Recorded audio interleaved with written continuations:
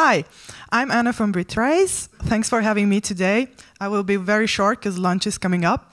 So Bitrise is a complete CI/CD solution built and optimized for mobile DevOps.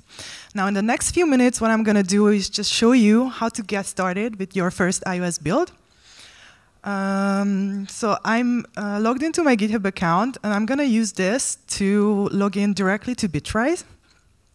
Um, and as you're going to see, uh, it will be automatically synced to Bitrise, so I'm going to see all my repos directly on the UI.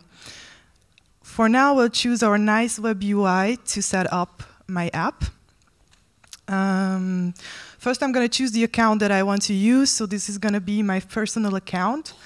And I'm going to set the privacy to private, because I don't want anyone to see my secret iOS example app. And uh, from my repo, I just choose um, my iOS example. Then since I don't need any other repos, I will just auto add an SSH key.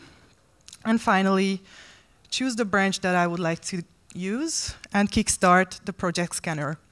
Now, when you choose your brand, um, you should choose the one that has the configuration file of your project, because what the project scanner actually does is that it detects the configuration of your project and sets up a primary workflow. So whether you have iOS, Android, or any cross-platform app, it's gonna uh, propose you a primary workflow for the project that you are having. While we are waiting for this to finish, um, I would just like to summarize what we are gonna see today. So first, this super quick onboarding of Bitrise. Then uh, I'm gonna show you some functions of our workflow editor, which basically allows you for endless customization of your workflow.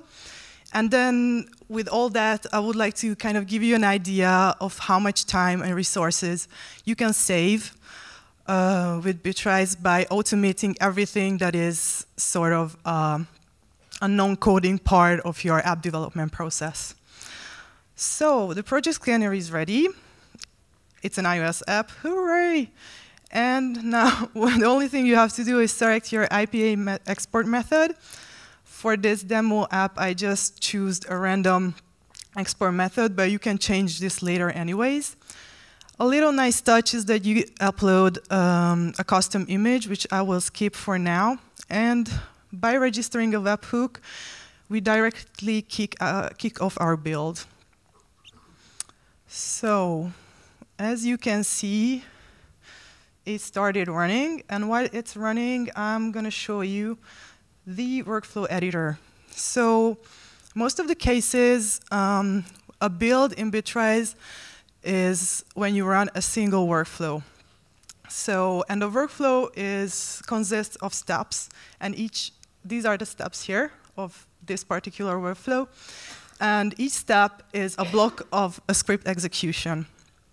Um, now, for this particular uh, primary iOS workflow, um, I can identify this because it has like a certificate and profile installer step, or for example, this Xcode test for iOS. This would look very different or somewhat different for an Android or a cross-platform app, obviously. Uh, so once you get a little bit hold of this, how the workflows work, you can just try to play around with it, rearrange the whole workflow, uh, remove an app, uh, remove a step, um, I don't know, re-edit. You can chain workflows together. You can create parallel workflows, like basically anything you want. And we have a library of over 260 integrations, all all for mobile.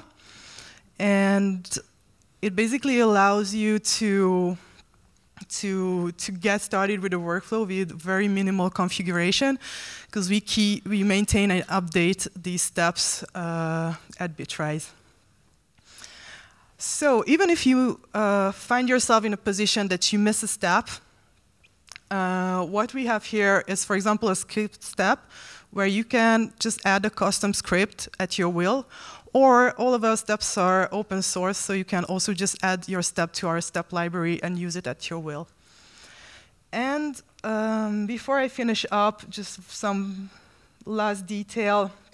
For an iOS app, code signing could always be a problem, but it's a piece of cake with Bitrise, because once you have this certificate and profile installer step, you just export your code signing uh, documents and then upload it here on the code signing step, and the workflow, the workflow itself does the whole thing for you. So let's just check. Oh, unfortunately, it's still running because only two minutes has passed. I was very quick. But um, yeah, so this was just scratching the top of the iceberg. Thank you for your attention. Come and see us at the booth. Enjoy lunch.